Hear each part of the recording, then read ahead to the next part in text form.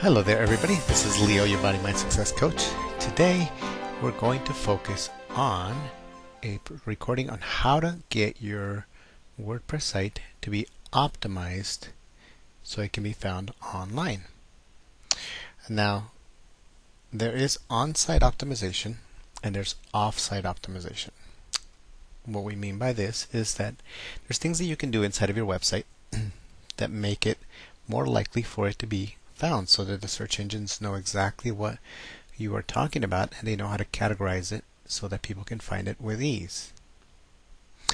There's offsite, which we're not going to talk about today. That's more the link building. That's a little bit more involved. But the, if you take these steps, you will find that you will have much better success at getting your website discovered, found, and basically have more visibility. Now, after I go through all these steps, and before you start feeling like you're overwhelmed with all the steps, I'm going to share with you at the end of the video a very cool tool that will help you make this much shorter process than what I'm about to explain. Okay? Now, you can do this without the tool, but it certainly is a lot easier with the tool. And if it so happens that you want to just go ahead and uh, learn more about that tool on your own or get it then I'll tell you how to do that. Okay, so let's get started. There is a list of things that pretty much every website should have so that the search engines know how and what you're optimizing in a page for. In other words, what do you want the search engines to know about this web page so that it knows how to categorize it. Now, the first thing is you want to have the main keyword. In this case, we're going to focus on the key main keyword, memory psychology. You want to have it in the title. If you can have it in the front, excellent. If you can have it in the back, great. If you can have it in the front and the back, even better. Now, it doesn't always make sense. If it works for you, let, us say this one works for you, memory psychology, infallible mem memory psychology, now it's kind of repetitive, but I might be able to fit it in twice. But don't force it, okay? Because people are going to read this. You want them to be able to actually go ahead and be able to read it. Now that you've got the title taken care of, a WordPress, um, if you have the, the, settings set up properly with uh, permalinks, which I'm not going to get into today, then you will see that the your URL or the link to will actually have the keyword in it. If you don't know what that means, I'll do another video later to explain that part of it. But you may not even need to if you just put the title in correctly. Now, let's get into the body of the text. Now, the body of the text, I went ahead and we have an article here that's posted. And here's the first tip. Make sure you have the main keyword, the exact keyword, and the first and last last sentence of the article. So there's the first sentence, and let's take a look at the last one. There it is on the last sentence. Okay, so there you have that. You can check that off the list. The next thing is you want to have uh, the main keyword show up anywhere between five to ten times within the article. If it's about, if you have an article about five 500 words or more, that's a rough estimate. You basically want it to have what they call a keyword density of 2 to 4%. That's the ideal. You don't want to overstuff it, and you also want to make sure that the search engines know what you're looking for. So there you have it. 5 to 10 times is generally a good rule of thumb. Now, the next thing is, in order for the search engines to kind of know what you're what to look for, they look for what's called headings. Now, there's a heading 1, heading 2, heading 3, 4, 5, etc. But three headings is usually enough. And one of the headings is usually taken care of by your title. So heading 1 that's taken care of by the title and your keyword's already there. What I'm going to do is I'm going to make this heading now heading 2 by clicking on paragraph on this little thing. But in case you don't see it, um, it tends to be hidden when you press on these little buttons. So there you have it. So I highlight the text and then I'm going to paragraph and I'm gonna you already have a heading 1 so I'm gonna do a heading 2 you'll see that the heading the font gets bigger. It's just how it's set up so don't worry about that too much. The main thing is you want your keyword that's highlighted that's there that's the primary keyword. Then let's find somewhere else that we can use the a h3 or header 3. Now I'm not gonna mess up my article here so I'm just gonna use the last sentence here and I'm gonna make that an h3. Now you want to vary it. Don't always do it on the last sentence. You know, maybe in the middle. If there's a header, you can break down some of the paragraphs, um, so you can tell them what it's going to be about, and you include the keyword in there. That's fine. Don't always don't follow my exact format. The point is using an H1, which is the title, an H2, and an H3 somewhere in there. So those can be checked off.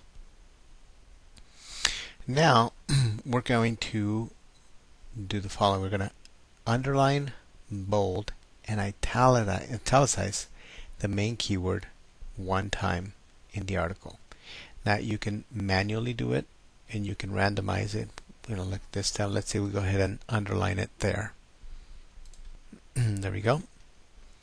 Let's find another place where we put it. Over here, let's make that italics. And let's see we have it somewhere in here, so let's find where that other memory psychology is. Mm, let's see, memory psychology, there we go. And we're going to bold that one. So we've got to bold and underline and italicize. Don't overdo it, once is enough. Okay, so we got another thing checked off. It's advisable that any article you write is over 4 or 500 words in length. If it's not, then go ahead and add a little bit more because otherwise it won't be really uh, enough for the search engines to know what you're looking, what you're trying, what you're trying to do. Okay. Now, the next thing we're going to focus on is you want to do a little bit of linking. Now, I'm going to do a linking internally, so some to some other page on my site, and externally to some other site. Ideally, a website that has some credibility on the search engines already. Something like Wikipedia, something um, like the Encyclopedia Britannica, something or an, uh, an educational facility, uh, a college, a university. All those tend to have already a good relationship with the search engines. So let's say I want to put Harvard here. So what I'm going to do, I already went ahead and went to Wikipedia and I picked a domain or a URL that had to do with Harvard. So I highlight the keyword Harvard. I'm going to do a link. I'm going to click on there, that little icon which is insert link. I'm going to paste it. And in this case, if I could actually pick the exact keyword and then have a title of the exact keyword in here, that would be another advantage. But for right now, we're not going to force it. We're just going to call it Harvard. And if it's an external link, we want it to link out. Um, it's going to link out. So we want it to open up in a separate window. So you click on there, open the link in a new window. That way they don't leave your site. You'll click Add Link, and there you go. I'm going to take the opportunity here to share one more thing um, because it'll become important later. Now I don't expect you to really do much code because we want to keep this as easy as possible. So this next little part that I'm going to talk about code, just think of it like a little bit of a um, warning. Hopefully it's really easy for you to do. If you do it, great. If not, it's an it's not an absolute must, but it just helps. Every little bit helps. So what I'm going to do is I'm actually going to add a little bit of extra code to this link. But in order for me to do that, I need to work in HTML. So there's the HTML. And if you look in here, here I have the link that I just put up. Harvard. There's the hyperlink. It's target blank. That means it opens in a new page. And then I'm going to put the words, the, the letters REL, which means relationship, with that link has no follow.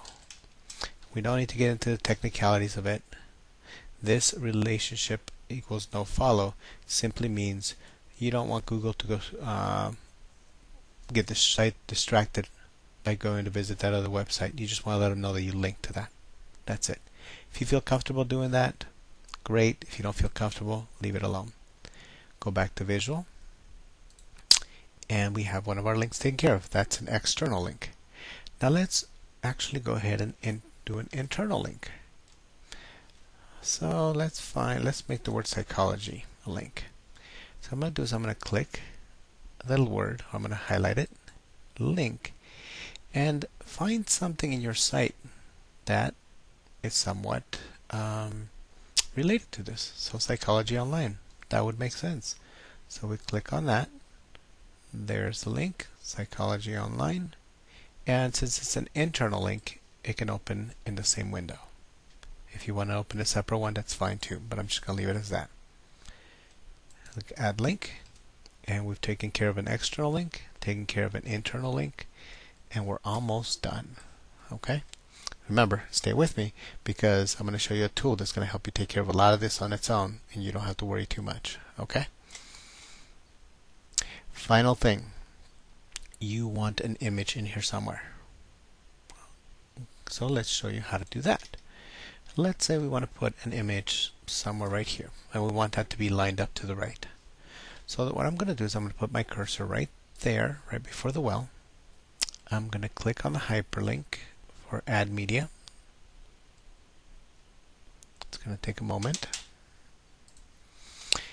And then I'm going to look on my computer for an image. Now I already happen to have one, so I'm going to go to desktop and I named it memory psychology. So memory psychology. If you can name it exactly the name of your main keyword, even better. Click open and upload. What that's is going to take the image and upload it into your website.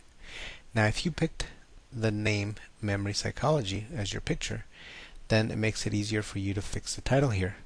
Memory, take away the dash, psychology. So now this image is going to have memory psychology as its title, so to speak.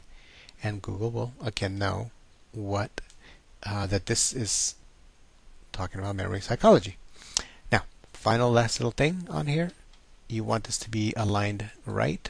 Uh, full size is fine. And then click Insert into Post. Once you do that, you will see that your image is right there, taken care of. And when I hover over it, you see Memory Psychology. Ta-da! Now, this takes care of pretty much everything in your article. Now, I'm going to show you one tool. I promise you I'll show you one tool to see how we did on this whole process. So let's see how we did before we publish it. There's this little plugin that's called SEO Pressor, and I you can click through the link that I share with you with this video. So if you want to learn more about it and if you want to get it yourself, and check out what it does. All I do is put in the main keyword in here, memory psychology, and I am going to press update. Give it a moment. It refreshes my screen and it gives me a score. Look at this. I got a 78.89%. Now, I didn't get 100%, but anything over 75% is going to be really good. Now, let me explain to you why I didn't get 100% so that you understand and why it doesn't really, this score doesn't matter to me as much because I know that I scored really well. It says here, it gives me in red, you do not have an H1 tag in my keyword. Well, I do, but it doesn't recognize it. My title is going to be an H1 tag, but you can't see that until you actually publish it and you'll see it in the post. So if I click on the post, this, the fact that it's bolded and underlined and I mean bolded and pretty big, it's it's an H1 tag. Okay. So it doesn't know that. The second thing, remember that I said that ideally you want to have a 2 to 4% keyword density. Well, it calculates the density for me for the word memory psychology. So it would behoove me to add maybe a couple more times the word memory psychology wherever I can fit it and it makes sense. And then this would be perfect for this particular post. If I missed any of the steps that we talked about, it'll give me a red a red uh, X. Now here it only had one because I already did the work myself. Now let me show you some one of the reasons why I love this plugin. and what I completely recommend anybody that's using WordPress uses it. If I click on SEO Pressor and I go to the settings, some of the steps that I had taken myself are now no longer um, need to be done by me. Look at this. If I click on this little link right here, it says allow SEO Pressor to automatically decorate my keywords with bold. So it would automatically do it for me. Allows me to put it in italic. It already does that for me. Puts it in underline, so I don't have to think about that step. Allows it to automatically add the, remember that alt keyword, and I told you to, to make sure that the title is the keyword. Well, you don't have to think about that. It does it for you. Allow it to automatically add the keyword in the post titles. Perfect. And now this one, I'm not going to use that particular function, but um, this would automatically put it in my post titles, which is excellent in case I forgot. So once I have these these steps, these things checked off, and the settings are set up exactly how I want them, then I'm ready to go. I don't have to do much anything else. So this is beautiful because now any posts that I have in my site that are already existing, it'll do all that for me. I don't actually have to go back and make all those changes. And if I wanted to see how I did, I can actually click on my post score. Here in this case, I have two posts, and let's in this one is sex addicts blog, my main keyword on there. You can check it out yourself there, and it tells you right there I'm at 61%. So there are things that I could do here, and if I click on suggestions, it's going to tell me exactly what my suggestions are. Tells me what to do. Okay, so it it makes it such that I have an automatic checking list checklist out of any of my posts. And when you go to your posts and then you go inside any of your posts, remember it will give you that score right away. If you happen to change it, let's say I just wanted memory, see how well optimized I am for just the word memory. Then I would go update. And let's see how we did on that one. 82%. Even better. See, I have keyword density 2.43, 82%. And so I'm ranking really, I'm optimized really well for the word memory. It remembers 82%. I bet you that if I put an H1 tag and it remembers that it's an H1 tag, it'll give me 100%. Now you don't have to have 100%, remember, but the higher, the better. Well, I made this video way longer than I intended to but I wanted to make sure that you got everything that you needed. So, I, if you if this is of value to you and you think that you are going to make use of this plugin, uh, might I invite you to just go ahead and uh, go to bodymindsuccess.com forward slash SEO pressor, which is the link that I give you with this video and below. Um, that way, it's one of those ways that it's my affiliate link and it allows me to generate just a little bit of income so I can keep creating these tutorials for people without charging them anything. So if it's useful to you, if you had some benefit from it, that's a way you can say thank you to me. Okay, I trust you have a fantastic day, that this was useful to you, and we'll go, um, hopefully all of your pages get found by Google and you're ranking and then you get everything that you want. Have a fantastic day. Bye.